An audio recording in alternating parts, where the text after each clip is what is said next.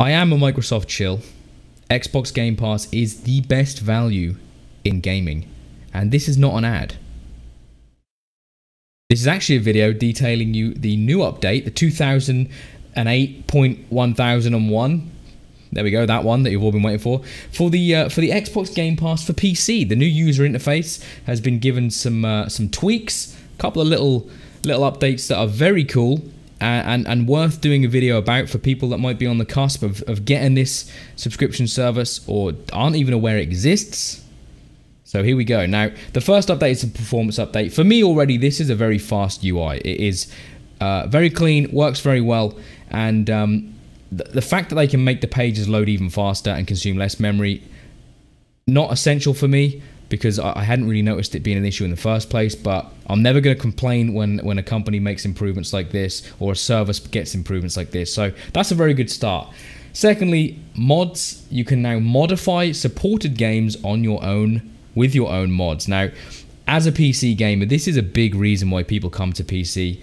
Uh, it is one of the big selling points to PC gamers or to console gamers to make the switch uh, to this this this um, this platform, and now the uh, the Game Pass is supporting some games with your own mods, which is very good. I, I know that um, this is important to a lot of people. Personally, I don't use too many mods, but uh, maybe now if it is on here and it's easy to do, then it might be something I look at. Video preview on Hover, that's very good at. It's that This is going to save me drilling down a couple of, uh, doing a couple of extra clicks to go into a game and, and to watch trailers and stuff. The fact you can hover over it and just see a small preview, that's cool. That's very cool. I'm not gonna I'm not gonna be mad about that at all. Also in there, we have the desktop shortcut. Right click on a game on the sidebar to create a desktop shortcut for it. Uh, be, but they want you to come back into the UI. Of course they do, because their store is linked into that. Very clever. Um, this, for me, is the best part of this update. Because I have to click in... Say I want to play Gears Tactics, right? I have to click into the the uh, the Game Pass for PC app. And there was at one point, it got fixed, but there was at one point um, an issue where the Xbox app was taking over my microphone, which made it a real dick because if I was then going to stream or record that game, I'd have to force stop that app using my mic, but still have the game loaded up, bunch of stuff. So now I can have the games on my desktop um, in icons with the rest of my games because I like them to be neat. Then uh, that's a great that's a great bonus. I love that. They've added a couple of menus for games that are leaving soon and, and new games, uh, quick link buttons, just things that I think as they add more games to this service, a lot can get lost in the shuffle. Uh, if, if, unless you go on all games or you search specifically for a game, then you may not even know what this service this service has to offer. So the fact that they're adding this um, these these new boxes, new dialogue, new new ways to discover different games, which I think Xbox Game Pass for, for PC is already very good at doing. It can give you like a random game if you click on one of the things, it'll like what to play next. It'll like shuffle and just throw something up random for you.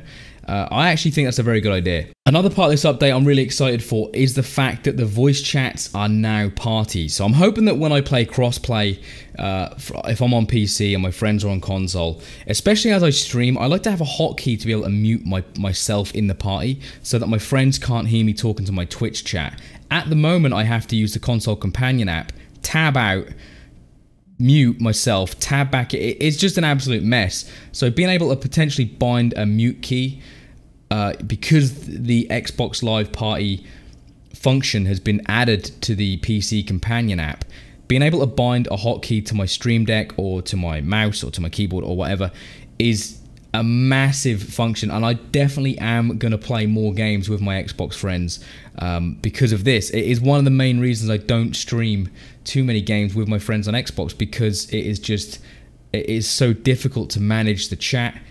And I know they don't mind, but I don't want them to hear me talking to my my actual Twitch chat or stream chat because then they're like, "What are you talking to me?" And it just gets the comms get really messy. So um, this is huge. I, am very happy. I'm I'm interested to see if this works. I will potentially feed back to see how good this uh, this function is. Maybe do another follow up video on it. But um, there we have it. That's the key updates from uh, for me that are important to me for this. And um, if you guys uh, are on the brink of getting this service, you weren't aware it existed, and you want to maybe have more questions or you want to ask me more, put a comment in below and I will respond to it. Like I said, I, I, do believe this is the best value in video games. I think people on PC don't even, a lot of people don't actually know this exists still. Um, and, and, the fact that I think they do an introdu- introductory offer for a pound a month for three months before it goes up to the regular price of £10 a month. People aren't aware of that either, so you can literally try this for almost a quarter of the year for th- essentially £3, which is, um, I mean, you can see the games here. It's, it's fucking incredible value for money. So uh, GG's Microsoft. Keep doing what you're doing. Keep making Game Pass uh, a great service that it is. And I hope that Sony and Nintendo do the same thing because I'll sign up for all of them. I'm a, honestly, I'm gullible. I'll have everything. At this point, I'm just going to work to pay for my subscription fees and rent and food and peripherals. Thanks for watching, everybody. If you want to watch my streams, I'm twitch.tv forward slash rocketmanluke. Six or seven days a week, variety streaming, all sorts of stuff. Come hang out. We've got the best chat on the internet. I've said it. It's official. Take it easy.